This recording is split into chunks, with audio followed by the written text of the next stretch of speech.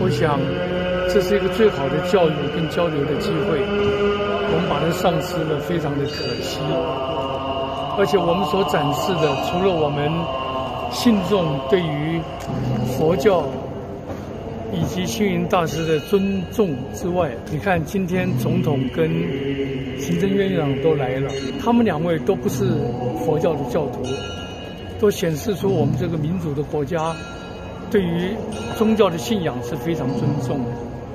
那么这么好的一个机会，为什么不给他们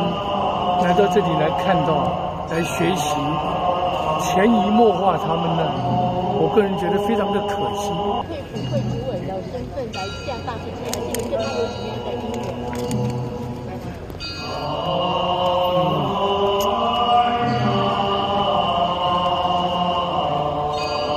让我这样子讲，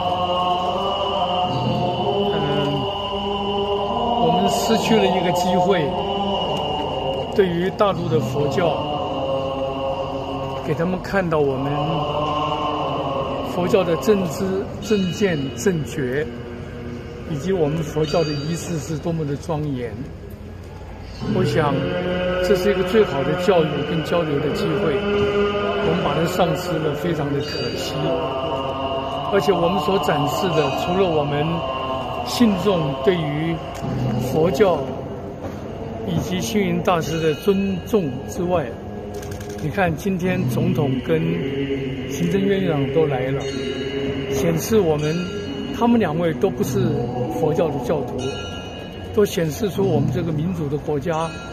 对于宗教的信仰是非常尊重的。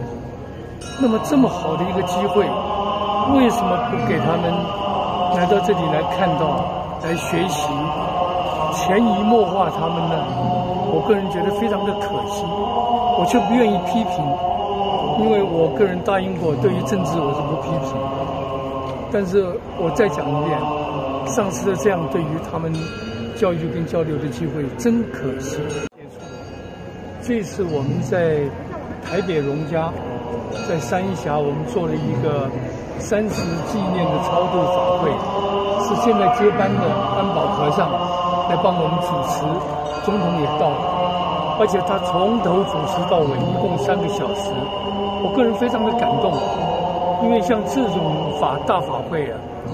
都是大和尚来一下子，或者念一堂经之后，就下面就交给其他的人，但这次他是却从头到尾，所以我在想。除了我对新宝和尚要致敬之外，也还他一个好像是人情一样的。那么再说，我读到很多他们给我的新云法师的星云大师的书，我也感觉到非常的感动。嗯，我很多的感想想讲，但是我想啊，最后一句话，有佛教能够。安顿人心，教化人心，这是非常重要的。